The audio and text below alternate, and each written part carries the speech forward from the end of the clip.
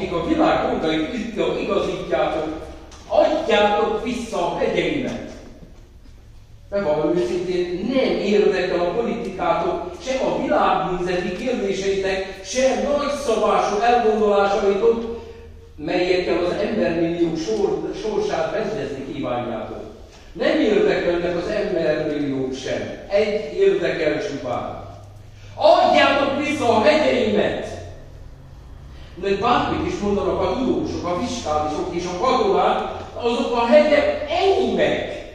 Mint ahogy én is hozzájuk tartozom attól a perctől kezdve, hogy megszülettem a lábuk alatt. Abban a kis házban, és ők benéztek hozzám az ablakon. Nem a telekönyv szerint voltak az enyémek, az igaz. De enyémek voltak Isten rendelése szerint azáltal, hogy ott születtem, és ott lettem emberré. Adjátok vissza a hegyeimet! Nézzétek, urak! Ide is tovább 50 esztendeje már, hogy belerángattatok ebbe a játékba. Játszottatok az én bőrömön háborút, országosztást, ide-oda ajándékozgatotok engem, és a hegyeimet, mint ahogy gyermekek ajándékozzák a játékszereteket egymásnak. És én 50 esztendeig engedelmesen játszottam nektek mindent, amit csak parancsoltatok. Kisebbségi sorsot, megaláztatást és elnyomatást, üldöztetést nyelvem és fajtám miatt, fölszabadulást és katonásdit, játszottam háborút, lelkesedést és halálfélelmet, rámenős bátorságot és fejtveszett menekülést, játszottam kétségbeesést, fájdalmat, dühöt, elvesztett háborút, játszottam elvesztett otthont és elvesztett család, családot, csikorgó fogú bosszú vágyat és hagyimokságot, játszottam mondalan bújdosást, magányos, kóborló farkas sorsot az emberi rengetegben. Urak, nekem elég volt.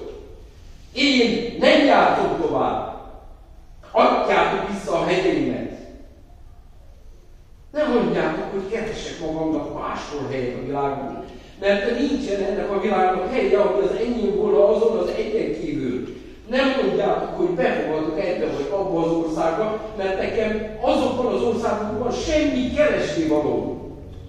Nem mondjátok, hogy lelek magamnak hegyet a Cordillerákon, vagy a Sierra Nevadán, mert a más hegyei azok nem az enyémek.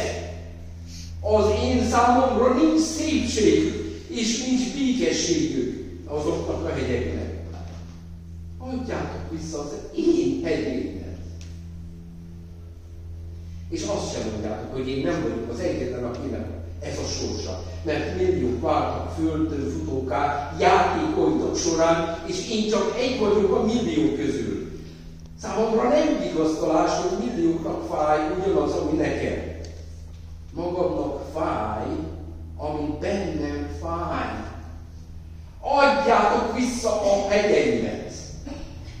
Nem mondjátok azt sem, hogy van, aki többet vesztett. Senki nem vesztett annyit, mint én.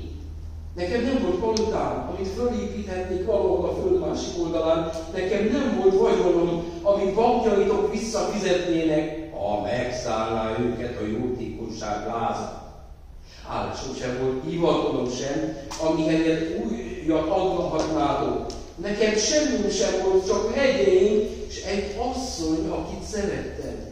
És ez a kettő együtt többet ér, mint a világ valamennyi palotája. Vagyon és hivatala. Senki sem veszítette a játékban, mint én. Adjátok vissza a hegyeimet! Urak, én elhiszem, elhiszem, hogy nagyobb vagytok és hatalmasak.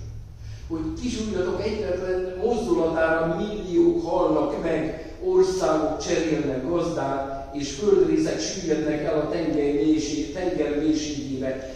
De mindezeken túl hinni szeretném azt is, hogy tisztelitek az igazságot és a törvényt, amit Isten a világnak adott, és hogy szívetekben jó még szűri át még a kisújjatok mozdulatát is. De ezt csak akkor hihetem el, ha el érzitek a rondást, amit játékaitok nyomán erre a világra rászabadult, és visszajtátok a hegyeimet. Uram, elmondom nektek. A játékot, amit játszanom kellett, mert így írtátok meg számomra a szerepet. Nem egyik vagy másik közületek, nem ez vagy amaz.